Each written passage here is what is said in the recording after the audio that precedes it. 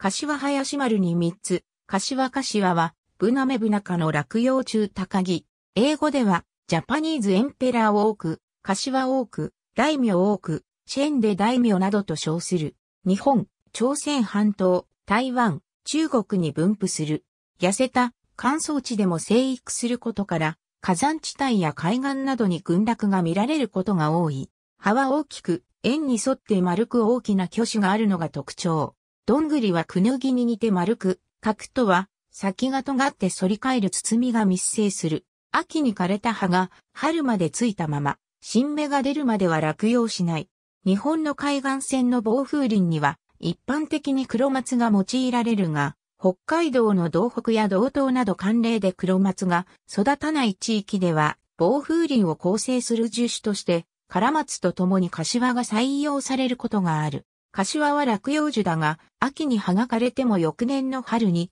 新芽が芽吹くまで葉が落ちることがない。そのため冬季の強風を防ぐ効果を果たす。葉には方向があり、さらに翌年に新芽が出るまで古い葉が落ちない特性から台が途切れない縁起物とされ、柏餅を包むのに用いられたり、家紋や神門をはじめとして多用されている。日本では漢字では柏と書くことが多いが、漢字の語源から言うと、柏の字の作りの白は色の白ではなく、休暇をかたどった象形文字で、柏はヒノキ科及び杉科の様々な針葉樹を意味する。この手柏のこと、あるいはシダレート杉、イブキ、サワラ、アスナロなど、松以外の針葉樹の総称である。戦前の植物学では、一位科からヒノキ科までの針葉樹は、小白綱と呼んでいた。現代中国語では、ヒノキ科を柏科という、小白類、高柏、